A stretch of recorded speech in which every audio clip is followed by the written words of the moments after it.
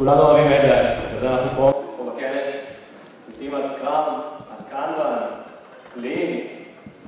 בואו נתחיל משאלה מאוד קצרה, מי כאן עובד ב Scrum? זריז, זריז, זריז, Kanban? Lean? כל השאר שלא הצביעו כנראה הגיעו רק בגלל. מגניב. אז אנחנו אוהבים את התהליך שלנו, אנחנו מתים על ה process, עובד לנו נהדר. Scrum, כולנו מכירים את השקף, כולנו מכירים את התהליך הזה. אנחנו אוהבים את ה-DSM, את בזמן, נגמרים בזמן ותמיד מדברים לעניין. ה sprint planning וה poker planning, שאנחנו מתמחרים את המשימות ותמיד פוגעים בול בול ביעדים. הרטרואים ואיש המוצר, אין על איש המוצר, מכיר את ה-Backlog, יודע מה לעשות, למה לעשות אותו, ותמיד יש לו את התשובות לכל השאלות שלנו. גם Lean, עובד מדהים, התהליך הזה, כולם קראו את הספר ומעכשיו כולם מוכנים לפתוח סטארט-אפ, הכל עובד פשוט נהדר. אנחנו מתים על זה. אבל באמת, זה לא בדיוק נכון. הרי בסופו של דבר, קרה לנו כל כך הרבה פעמים שהתהליך הזה פשוט לא יסתדר. כמה פעמים יצא לכם שלפתח תכולה מסוימת, איזשהו מוצר, יכולת קטנה, בין אם זה משהו גדול או משהו קטן, ואף אחד לא היה צריך את זה. או שבכלל לא הבנתם למה, למה אתם עושים את זה. כמה פעמים, למרות כל הטקסים וכל הפעילות הזאת וכל מה שאג'ל מנסה לבוא ולה, ולתת לנו, ה-R&D, הפיתוח, המוצר והביזנס לא היו מסונכרנים על הדרישות. כמה פעמים כדי להגיע בזמן הייתם צריכים לפגוע באיכות של התכולה, להפסיק לכתוב טסטים.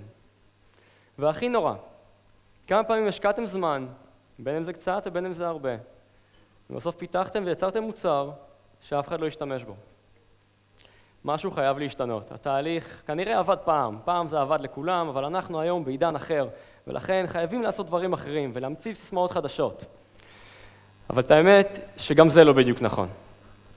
אז uh, לי קוראים דניס, אני ראש צוות בסירס ישראל. בשמונה שנים האחרונות אני חולה על אג'יי, באמת. Uh, עובד, יצא לי לעבוד בכל המתודולוגיות, יצא לי להדריך צוותים בכל מיני ארגונים, על איך להיכנס לסקראם, להיכנס לקנבן, לאמץ שיטות כאלה ואחרות. אני קורא, כותב, אה, אתם יכולים להיכנס לבלוג שלי בזמנכם הפנוי, לראות על חלק מהדברים האלה, אה, לעקוב אחריה בטוויטר. אני מאוד שמח להיות כאן היום ולדבר איתכם על, אה, בגדול, כמה דברים.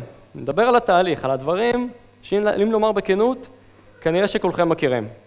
אני אופתע אם כשתצאו מההרצאה תגידו, את זה לא הכרתי, זה איזשהו טקס חדש שהוא המציא שהוא לא, לא קיים. לא, אני כנראה הולך לדבר על הדברים שיצא לכם להכיר, יצא לכם לקרוא, ואפילו להתנסות, אבל משום מה, אנחנו לא עושים אותם. לרובנו, לרובנו זה לא בדיוק עובד. לרובנו, בחלק מהמקומות, כל אחד באזור שלו, הדברים האלה קשים.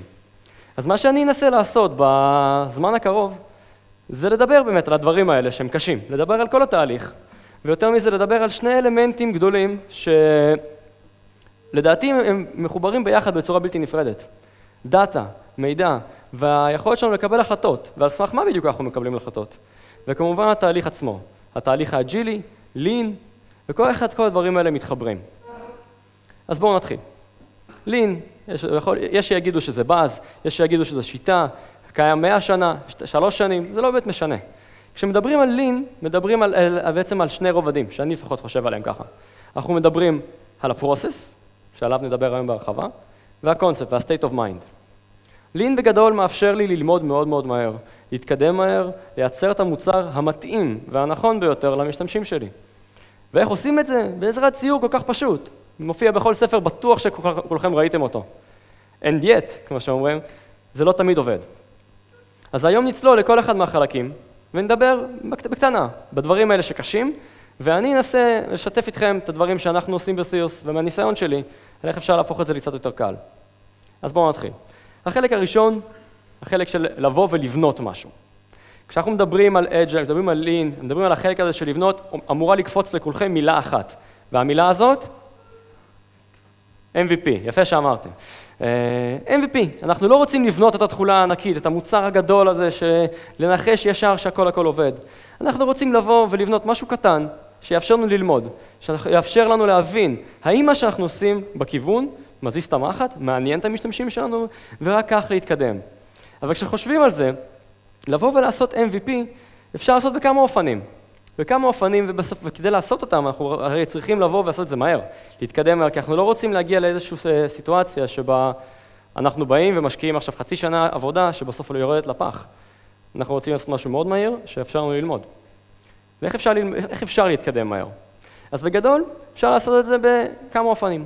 אופציה אחת, להחליט שכשאני מתקדם מהר, כשאני מפתח את השלב הראשון, את ה-MVP, אני הולך לאבד, אה, הולך טיפה לפגוע באיכות שלי. הולך אולי לפגוע בטסטים, בדיזיין, לא הולך לטפל בחובות טכניים. אבל כמו שאני מניח, כולכם בחדר יודעים, הדבר הזה תופס אותנו אחר כך. כי בשלב ראשון, מסוים קשה מאוד להתקדם מהר כשיש לנו חובות טכניים, כשהארכיטקטורה שלנו לא מתאימה לצרכים שלנו, כשהדיזיין פשוט היה, כמו שהבחור שדיבר לפניי, הרבה על לגאסי קוד ודברים שפשוט מאיטים אותנו. וכמובן וכמובן, ואני חושב שמכל הדברים זה הכי חשוב, אי אפשר להתקדם באמת מהר כשאין לנו טסטים. עכשיו, באופציה הזאת הרבה פעמים אני אוהב להגביל את זה לסיטואציה של אני נוסע עכשיו לפגישה, למשהו שחשוב לי, ונדלק את הנורה הזאת, הנורה של אה, הולך, עומד להיגמר הדלק. מסתק, אני מניח שקורה להרבה מכם, אתם מסתכלים על הנורה ואומרים, אין סיכוי שאני נכנס עכשיו לתדלק, אני ממהר. ויכול מאוד להיות שאם לא תעצרו הפעם הזאת, אכן תגיעו לפגישה, תגיעו בזמן, ובאמת תספיקו את מה שרציתם. ויכול מאוד להיות שמיד אחרי זה יש עוד גישה, וגם אליה תספיקו. אבל בשלב מסוים אנחנו נצטרך לעצור ולתדלק. ובדרך כלל כשהדבר הזה יקרה, זה לא יהיה לתחנת דלק, ויהיה לנו מאוד מאוד קשה לבוא ולחזור לרוטינה שלנו. תחשבו על המערה הבאה, אגב, היא נשמעת הרבה יותר טוב באנגלית מאשר בעברית, אבל לא משנה. אה, כמה פעמים, במיוחד צוותים שלא עבדו לבד, צוותים שעבדו עם צוותים אחרים בתוך הארגון, רציתם להתקדם מהר, ומאוד יכול להיות שעשיתם את כל מה שצריך לעשות, אבל בסופו של דבר הייתם צריכים לעצור ולהאט את הקצב שלכם בגלל אותם צוותים שמתקדמים מהר, שעובדים בסקראם, אבל פוגעים באיכות שלהם שוב ושוב. אז, אז בגדול, כשאנחנו רוצים באמת לבוא ולהתקדם, ולתת איזושהי תפוקה ולהביא איזשהו מוצר, אנחנו יכולים לפגוע באיכות, ואנחנו צריכים להבין שזה איזושהי החלטה. אבל יש עוד כמה אופציות. אנחנו יכולים לצמצם את הסקופ של התכולה, ולפעמים אנחנו יכולים בכלל לא, לא לפתח את המוצר, כי הרבה פעמים ההנחות האלה, אותן הנחות שאנחנו חושבים שאנחנו מבינים, פוגעים לנו בסופו של דבר וגורמים לנו בזבז זמן. יש הרצאה נהדרת של אנקל בוב שמדברת על ולנד וסקראם פורגוט. ובגדול, השורה התחתונה שלו, שאנחנו לא יכולים באמת להתקדם מהר, לפחות לא לאורך זמן, בלי שיש לנו איכות. לכן, כמו שאמרתי, אפשר לפגוע באיכות כדי להתקדם מהר, אבל יש לזה השלכות ואנחנו חייבים לזכור אותן. לכן, בואו נדבר על עוד אופציה. האופציה השנייה מדברת על בואו נפחית את התכולה. עכשיו, מה שנקרא, it easier than done. כי בסופו של דבר, כן, כולנו רוצים לא לפתח את חלקים ולפתח רק את מה שצריך, אבל איך עושים את זה? אז שוב, אה, יש, יש כמה אופנים לעשות את זה. אנחנו צריכים לדעת בסופו של דבר איך אנחנו בונים את המוצר הנכון בצורה הנכונה. אז בואו נדבר רגע על החלק האחרון של המשפט, על הצורה הנכונה הזאת. אז דיברנו על זה, אמרנו שאנחנו לא רוצים לפגוע בתכולה, אנחנו רוצים לצמצם סקופ. איך עושים את זה? בואו נסתכל על כמה דוגמאות מעולם האמיתי. לגוגל יש אה, רעיון עבודה למנהלי מוצר. ברעיון עבודה הם שואלים את מנהל המוצר, עכשיו אנחנו רוצים להכניס מקס פגטי לתפריט בצרפת.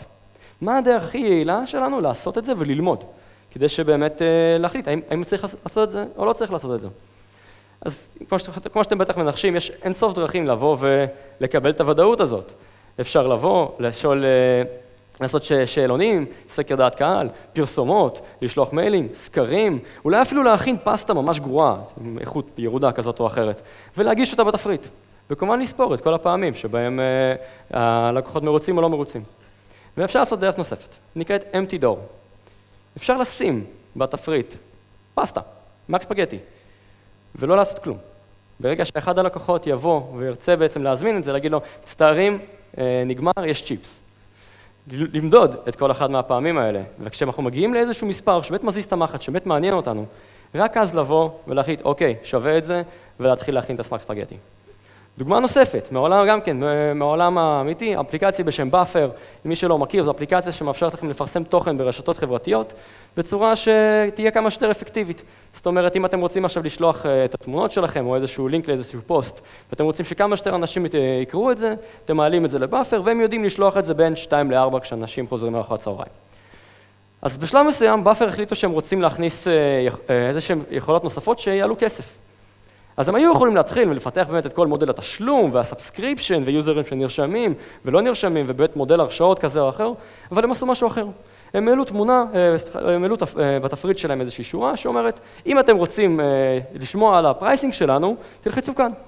וכשיוזרים לחצו, הם קיבלו את המסך הזה, הופ, תפסתם אותנו לא מוכנים. ספרו את הדברים האלה. אז כן, אז יכול מאוד שכמה מהיוזרים קיבלו את זה בצחוק והבנה, וחלק הסתכלו על זה, מה זה השטויות האלה, אני לא חוזר לפה יותר. וכשמסתכלים בסוף על, על מספרים הגדולים, זה שווה את זה. כי רק אחרי שהם הבינו שיוזרים בכלל מתעניינים בזה, הם יבואו ויפתחו את זה. וגם אז Buffer לא עצרו, כי הרי, הבנו, אוקיי, היוזרים רוצים, מוכנים לשלם, אבל כמה? שוב, אפשר לבוא ולפתח משהו גרנדיוזי ולהגיד, כן, באלף דולר אתה תקבל את זה, בחמישים דולר תקבל את זה, אבל Buffer שוב פעם עשו משהו אחר. הם הוציאו דף נוסף, עם כמה אמצעי תשלום שונים, ושוב פעם עשו אותו טריק. הם ראו, מה, במה יוזרים מתעניינים? כנראה ש-20 דולר זה הרבה, 5 זה מספיק, 0 נראה לא רציני, ורק אחרי זה הם באו והשקיעו. עכשיו תחשבו באמת, נחזור חזרה ל-MVP והיכולת שלנו להתקדם מהר. כמה זמן עולה להעמיד עמוד סטטי כזה? כלום. כלום זמן. לפעמים, אפילו עדיף שהמפתחים לא ייגעו בזה, שלא יתחילו לסבך. לדווח על היכולת, כן, אני... נשמע מוכר. אני מפתח, אבל, אבל אני אזכור אותך. והדבר הזה גורם לנו ללמוד, נותן לנו למידה אמיתית, ורק אחרי שאנחנו עושים, אנחנו מתקדמים בדברים האלה. עכשיו כן, אני בטוח שכולכם יושבים פה בקהל אנשים ואומרים, יופי, ומה הלאה? מה הלאה? רק אחרי זה נפתח את הדבר הגדול? גם לא. כי כמו, שצ... כמו שאמרנו לפני זה, אנחנו רוצים כל פעם להתקדם קצת. אז כמו ש Buffer עשו, עמוד סטטי אחד, עמוד סטטי נוסף, אנחנו כל פעם מתמקדים בתכולה, בתכולה אחת בלבד, בדבר שמעניין את היוזר ונותן את הכי הרבה impact. משקיעים כמה שפחות, אבל כשעושים את זה, עושים את זה כבר עם איכות. עכשיו בואו נצלול לחלק השני של המשפט, לבנות את הדבר הנכון. כדי להבין איך באמת בונים את הדבר הנכון, אנחנו צריכים להבין מה זה הדבר הלא נכון. וגם פה נסתכל על איזושהי דוגמה מהעולם האמיתי. אה, שלוש אפליקציות מייל, Outlook, שאני מניח שכולכם משתמשים, IncrediMail, אה, מישהו מכיר? יש כמה שמכירים את הדבר המגניב הזה, ו Inbox או Gmail, מניח שהרוב מכירים. אז שלוש אפליקציות מייל. Outlook, המערכת הוותיקה, היציבה, שכולנו אוהבים, שולחת מיילים, יש לה המון המון פונקציונליות, it does the job, שאנחנו מכירים, וכנראה כולנו משתמשים בהם בעבודה באנטרפרייזים שלנו, בחברות. IncrediMail, למי שלא מכיר, אפליקציית מייל מדהימה, שמה שהיא מאפשרת לכם לשלוח מיילים, אבל מלבד הטקסט המשעמם, לשים סמיילים ווידאוים וסרטונים ולשנות את הרקע של המייל שלכם וכל מה שאתם צריכים. או שלא. ו Inbox של גוגל, או גם Gmail, אפליקציה שבאמת יש בה הכל. בגלל זה אפילו, אה, אפילו, אפילו כשאנחנו שומרים לפעמים קבצים ושולחים דברים לעצמנו, אנחנו משתמשים ב Inbox או ב Gmail רק כדי לארגן את המידע. ובסופו של דבר, שלושת האפליקציות האלה שולחות מייל. בסופו, אם מסתכלים על ה-definition of done של כל אחד, כן, גם זה וגם זה שולח מייל. ועדיין, Gmail, Inbox, זה הדבר האמיתי. ציטוט אמיתי לגמרי של מריסה מיירס, שאחרי שעזבה את יאהו, אמרה, סוף סוף אני אוכל להשתמש בג'ימל. משהו בג'ימל שונה ממה שיש באפליקציות האחרות. משהו בנו אה, מושך אותנו וגורם לנו להגיד, זה מוצר טוב, והאלה מצחיקים וכיף לשים על שקפים, אבל אנחנו לא נשתמש בזה כי זה לא רציני. אז איך, איך מחליטים מה הדבר הנכון? אז אני רוצה להגיד לכם קונספט אה, שאפשר לדבר עליו באמת הרצאה שלמה, אספתי פה כמה לינקים שאחרי זה תוכלו להיכנס ולצלול טיפה יותר לעומק. כאן המודל. כאן המודל בגדול זו שיטה לבוא ולת, ולתעדף את הפיצ'רים שלנו, את התכולות השונות. אה, היא מחלקת בעצם את המוצר שלנו ואת הפיצ'רים השונים על כמה סקלות.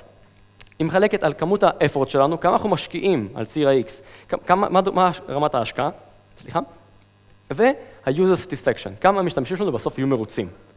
ובתוך כל אחד מהרמות האלה, יש, אה, אנחנו מחלקים את הפיצ'רים השונים במוצר לשלוש חלקים, לשלושה, לשלושה חלקים. קודם כל, ה-must-haves, אותם דברים שאם הם לא יהיו באפליקציה, אין מה להשתמש בה. שימו לב לדבר המעניין פה, שלא משנה כמה נשקיע בדברים האלה, יוזרים לעולם לא יהיו שמחים ויתלהבו וירצו להשתמש באפליקציות בכל מחיר. אבל אם לא יהיו, הם, הם כנראה ינטשו אותנו. אה, דוגמה שוב פעם מהעולם, מהעולם האמיתי, אם אין לי חיפוש באפליקציית אימייל, כנראה שאני לא אוכל להשתמש בדבר הזה, זה הפונקציונליות הבסיסית ביותר, אולי אחרי לשלוח את המייל. הדבר הבא הוא עניין ה performance, זאת אומרת, איזה, אותן יכולות בתוך האפליקציה שאנחנו יכולים לשפר לאורך זמן. וככל שאנחנו נשפר, היוזרים באמת ייהנו מזה. אבל יש לזה, אבל הגדילה היא ליניארית, זאת אומרת, אנחנו צריכים להשקיע הרבה מאוד כדי לגרום ליוזר ליהנות. אפשר לקחת כל מיני דוגמאות, רוב הפיצ'רים, תחשבו על זה, בגדול נופלים בקטגוריות האלה. אני יכול לבוא ולהוסיף סוגים שונים של פונטים, ותמונות, ווידאוים, ואנימציות, וגיפים, וכן, בסוף זה יגרום ליוזר להתלהב, וזה, וכנראה נצטרך להשקיע הרבה כדי שהדברים האלה יתמכו ויתמכו לאחור, אה, אבל זה לא הדבר המגניב באמת. והדברים המגניבים זה ה attractives. הדברים הקטנים לפעמים, שלפעמים לא דורשים הרבה השקעה, אבל כשעושים אותם, זה מה שגורם ליוזר לחייך. כשאתם תחזרו הביתה היום ותיכנסו ל Waze, הוא יחכה לכם ויגיד, עושים הביתה? תמיד מעלה חיוך. ובאינבוקס, משהו שאני מאוד אוהב, עכשיו לא מזמן טסתי ללונדון, הזמנתי כרטיסי טיסה, הזמנתי מלון, הזמנתי אטרקציות, כל הדברים האלה. נכנס לאינבוקס, הוא מחבר לי הכל לטריפ אחד, לטיול, הכל נמצא באותו מקום, סופר נוח, אפילו לא צריך לחפש. זה גורם לי הרגשה מאוד בטוחה, וגורם לי בסוף גם להמליץ על זה לאנשים וחברים שלי.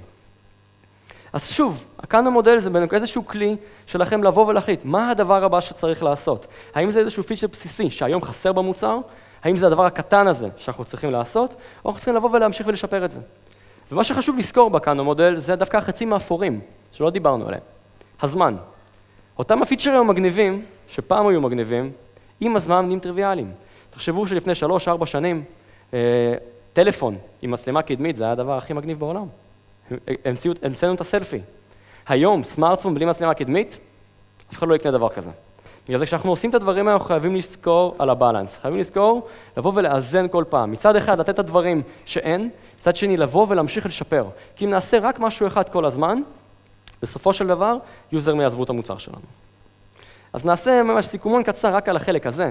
אנחנו צריכים ללמוד את המוצר הנכון בצורה הנכונה. הצורה הנכונה אומרת שכשאנחנו עושים אותה, אנחנו עושים, עושים את זה עם האיכות הנכונה. כותבים טסטים, חושבים על הדיזיין, אבל הסקופ קטן, וכשהוא קטן אפשר לעשות את זה בצורה יחסית פשוטה. בצורה יחסית פשוטה. ומצד שני, הדבר הנכון זה אותו כאן המודל, איזשהו כלי, שכשאנחנו צריכים לבוא ולתעדף את ה-Backlog, את השיטות השונות שלנו, אנחנו, אנחנו בעצם יודעים לאיזה קטגוריה הפיצ'ר הזה נופל, והאם אנחנו צריכים לבוא ולהמשיך להשקיע דווקא בקטגוריה הזאת. אז יפה, אז בנינו, בנינו את ה-MVP שלנו ובנינו אותו נכון, כמו שצריך. עכשיו, עלינו למדוד אותו. אבל מה בדיוק אנחנו מודדים? בנינו MVP, איך, אה, מה המדידה? אז התשובה הטריוויאלית בסופו של דבר זה אותם user stories לימדו אותנו שמה שאנחנו מפתחים זה אותם רשימה של חלקים בתוך ה-Backlog. as a user I want to, ככה וככה. את הדבר הזה בסוף אנחנו ננסה למדוד. אם תחשבו על זה, בתוך האמירה הזאת מסתתרות המון המון הנחות עבודה סמויות, שהרבה פעמים מטעות. אנחנו יוצאים מנקודת הנחה שגם אנחנו יודעים מי היוזר, אנחנו יודעים למה הוא הגיע ומה הוא רוצה לעשות, ויותר מזה אנחנו גם חוש... בטוחים שאנחנו יודעים מה התוצאה הרצויה שהוא רוצה. אלה המון המון הנחות עבודה שהן פשוט, אנחנו, כי בסוף כמפתחים וכאנשי מוצר שרוצים לקחת ולבנות מוצר אמיתי ומתאים, זה הנחות עבודה שאנחנו לא יכולים לקחת. לכן אני מציע שיטה טיפה שונה. רוצה לשנות את זה קצת, ולקחת את אותן הנחות עבודה, אבל לא, לא, להוסיף להם עוד כמה ממדים. להתחיל מהנחת עבודה, להמשיך להיפותזה, איזושהי השערה, אני מקווה שהשערה זה התרגום הנכון של היפותזה, נשאר עם היפותזה. איזושהי היפותזה שבאה לה, אה, לאשש איזושהי אה, תובנה שיש לי, משהו שאני חושב שישפיע על היוזר, משהו שיקרה. ובסוף KPI, איזשהו מדד שאמור להשתנות, בין אם, בין אם הוא יגדל, בין אם הוא יקטן, אבל בצורה הזאת אני יכול רק לשער, רק להעריך מה היוזרים שלי ירצו לעשות, ולפי זה לבוא ולהתקדם. אז בואו גם נבין מה זה אומר. אסמפשן, אותה השערה. אנחנו לא נשארים עם אותו הנחת, סליחה, עם הנחת עבודה. אנחנו צריכים לבוא ולשים את כל הנחות העבודה שלנו על השולחן לפני שאנחנו צוללים לעומק. למשל, המוצר שאנחנו בונים עכשיו, אה, איזשהו שירות משלוחים לצמחונים. אז הנקודת התחלה שלנו, ה-top of the funnel שלנו, יוצא מנקודת הנחה שיש 4,000 אה, צמחונים בסן פרנסיסקו. ובשלב הזה עלינו לעצור. בכל פיצ'ר שבו אנחנו שמים את ההנחת עבודה על השולחן, אנחנו צריכים לעצור ולשאול שאלה מאוד פשוטה. האם זה מספיק? האם יש פה בכלל בשר לפתח פיצ'ר אמיתי? כי אם יש לנו אתר מסוים, מוצר, אפליקציה, שיש בה איקס מסוים של אנשים, והנקודה שאנחנו מדברים בה עכשיו, יש בה רק, 0, זה רק 0.02% מהיוזרים, ויכול להיות שהיוזרים אפילו לא, לא היוזרים המעניינים שלנו, יכול להיות שלא שווה לפתח את הפיצ'ר. אתם זוכרים מה שדיברנו קודם? בצורה הזאת לא עושים דברים סתם, עושים מה שצריך. לכן אנחנו תמיד צריכים להביא, לחשוב, האם אותה דבר שאנחנו מתחילים, יש, ההנחת עבודה שלנו שווה בכלל את ההשקעה בלפתח MVP, ללמוד אותו, ללמוד ממנו ולהרחיב אותו בהמשך. אז אחרי שהגדרנו את הנחת העבודה שלנו, בואו נגיד את ההיפותזה. וההיפותזה זה אותה השערה, זה אותו חלום, זה אותו משהו שאנחנו מאמינים בו, שחושבים שאם נעשה אותו, הוא באמת יבוא ויקרה. אנחנו יכולים לבוא ולהגדיר כל מיני סוגים של היפותזות, אבל הנקודה פה זה ה-state of mind. וה-state of mind שבמקום as a user I want to, מתוך איזושהי הבנה שאנחנו יודעים בדיוק מה הוא רוצה. לא להגיד אנחנו לא יודעים, אנחנו רוצים לבדוק. אנחנו רוצים לבדוק ואנחנו גם מסתכלים על מדד מסוים, על KPI. מה אותו מדד? זה כל אחד והמוצר שלו, הפיצ'ר שלו בנקודה שלו. יכול להיות רבי, כסף, יכול להיות, uh, כמו שאמרתי, יכול להיות revenue, כסף, יכול להיות איזשהו מדד של engagement, מדד של conversion, של יוזרים חוזרים, יוזרים נרשמים, זה לא באמת משנה. הנקודה שאנחנו יכולים להבין, הפיצ'ר שאנחנו עושים אמור להזיז את המחט איפשהו במוצר שלנו. איפה? זו עבודה שצריך להביא, לחקור ולעשות. ובסוף, אנחנו צריכים להגדיר את המספר. בכמה אנחנו חושבים שהפיצ'ר הולך לבוא ולשפר את, ה... את המוצר שלנו. עכשיו טיפ, הרבה פעמים אני רואה אה, מצבים שבהם מגדירים KPI ברור, חייבים לשפר את אחוז ההרשמה ב-20%. ואם אה, בסוף הניסוי שלנו יהיה לנו רק 18 אחוז אה, שיפור, זה לא טוב? נכשלנו? יכול להיות שכן, יכול להיות שלא. הנקודה שלי, וזה הטיפ באמת כאן, לשים איזשהו רנץ', איזשהו טווח. לבוא ולהגדיר שכל עוד אנחנו בטווח הזה אנחנו בסדר. שיפור של 10% מ-30 ומעלה הוא טוב, פחות מזה, לא. אבל לשים את הטווח הזה והוא צריך להיות ברור. אגב, על מה הטווח הזה מגיע? מחקר. אנחנו צריכים לשים בנצ'מארק, צריכים להשוות עם המצב הקיים ולראות איך אנחנו לשפר אותו. כדי לעשות את הבדיקה הזאת, אנחנו משתמשים ב-AB טסט. עכשיו, גם על זה אני לא רוצה להיכנס יותר מדי, יש המון המון חומר באינטרנט והמון המון תשתיות שעושות את הדברים האלה. בסופו של דבר מדובר על איזשהו if בקוד, שפעם אחת מציג ליוזרים מסוימים חוויה א', ופעם הבאה חוויה ב'. אמרתי, לא ניכנס לאיך עושים את זה, אבל תחשבו רגע על הכוח של הדבר הזה. המוצר שלכם חי בכמה אופנים, ויוזרים שונים חווים אותו בדרכים שונות. חלק חווים אותו ב baseline שלו, וכמו שהוא אמור, כמו שהוא אמור להתנהג, וחלק אחר חווה אותו בצורה של הניסוי, באותה היפותזה, שאמרנו שאם נשנה משהו, נוסיף משהו, נמחק משהו, משהו ישתנה. ואנחנו נבוא ונריץ את הטסט הזה, כמה זמן, כמה שצריך, לפי הדרישות. ואז נמדוד את ה-KPI. בגדול, נוכל לייצר פאנל. פאנל שמתחיל מנקודת ההנחה שלנו, מאותו אסמפשן, שאומר, יש לי 4,000 יוזרים שנכנסים לפאנל, בשני המצבים.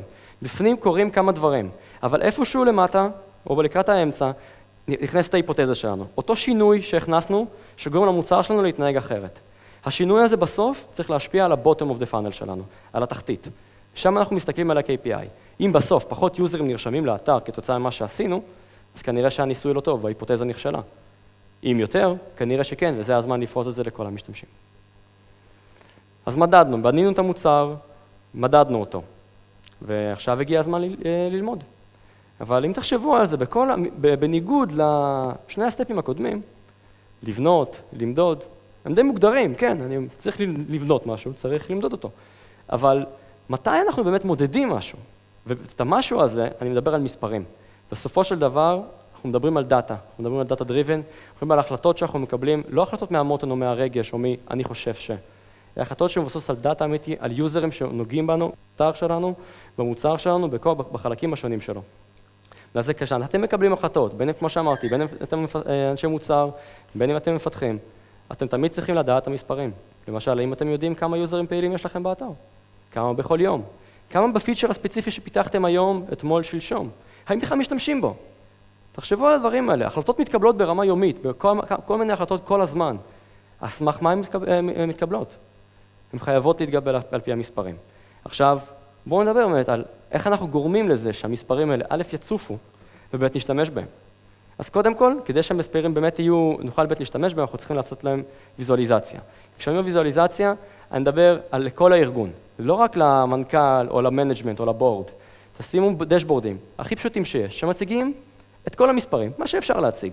אם מעניין אתכם מספר הזמנות, אז מספר הזמנות, אם זה מספר יוזר, מספר יוזר, מספר באגים, מספר באגים.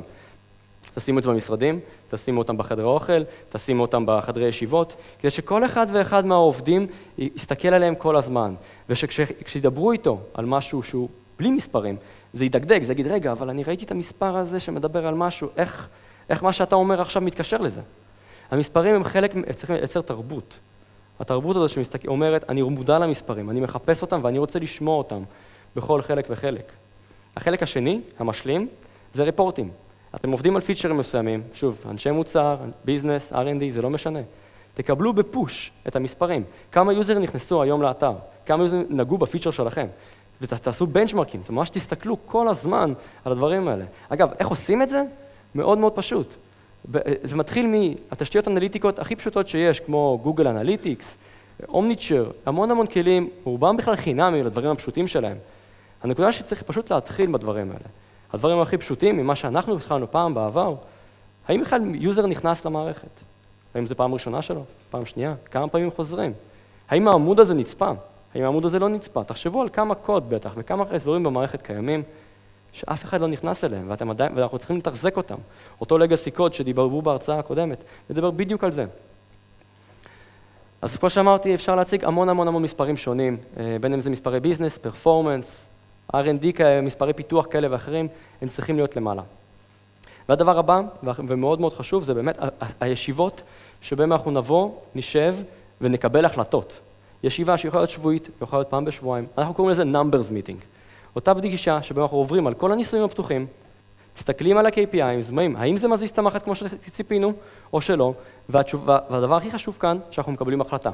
ההיפותזה נכשלה, היוזרים לא מתנהגים כמו שחשבנו, לכן צריכים למחוק את הניסוי, למחוק את הקוד המיותר ולחזור ולעשות משהו חדש. או, הצלחנו, בואו בוא, בוא, בוא נחשוף את זה לכולם.